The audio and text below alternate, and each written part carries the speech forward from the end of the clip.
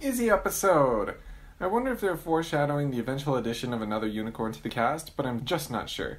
Either way, I like the characterization for Izzy here.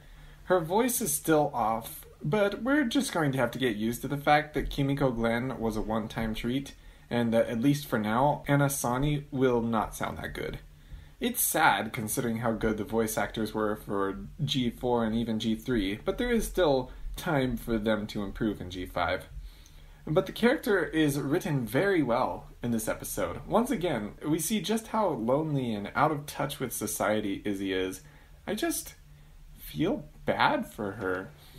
I love how Senor Butterscotch was terrifying and they actually played the jokes that way.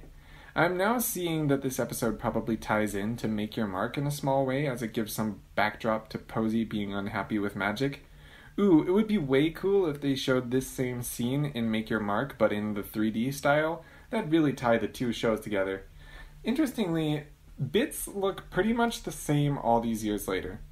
It's interesting to note that the unicorns have a holiday celebrating friendship, some fans have pointed this out as being inconsistent with their portrayal in the movie, but I have no problems with this.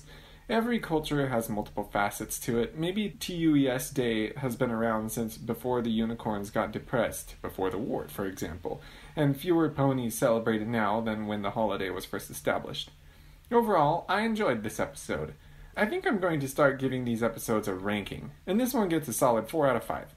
Izzy's character comes through strong here, and the humor is kind of funny. That's all for now. Peace out.